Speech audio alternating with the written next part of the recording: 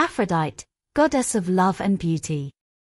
In the realm of the ancient gods, Aphrodite, the goddess of love and beauty, held a celestial throne adorned with fragrant roses and shells from the foamy sea. Born from the sea foam near the island of Cythera, her arrival in the pantheon of the Olympian gods was a sight to behold. Aphrodite's ethereal beauty was a reflection of her inner grace. Her presence radiated a captivating allure, captivating gods and mortals alike. Among those who fell under her spell was Hephaestus, the divine blacksmith, whose boundless creativity was rivaled only by his physical challenges.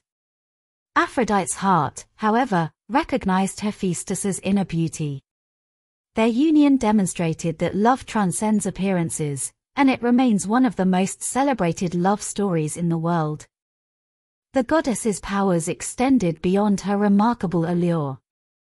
With a mere glance, she could kindle love and desire within the hearts of gods and mortals.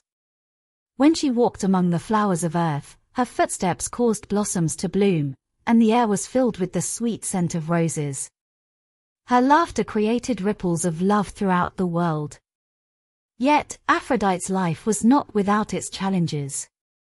She was a central figure in the tale of Eros and Psyche, a story that showcased the complexities of love and beauty. Psyche, a mortal maiden, was so beautiful that her beauty stirred jealousy in the hearts of Aphrodite's devotees.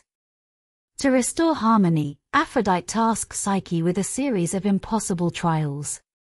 But it was her son, Eros, the god of love, who came to Psyche's aid, and their love ultimately overcame Aphrodite's tests.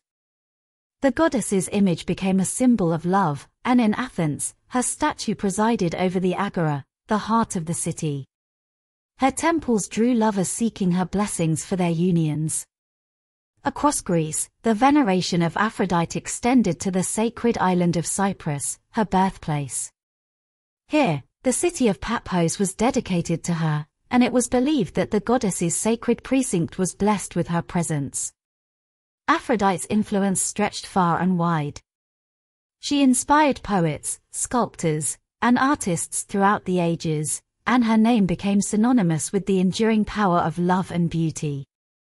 Her story reminds us that love, in all its forms, holds the key to our deepest desires, connecting us to the divine and to one another.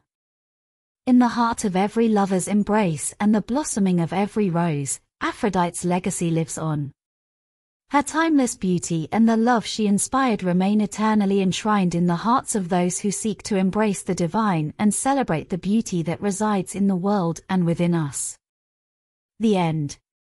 Please subscribe my YouTube channel Teddy Bear's Story Time. See you next time.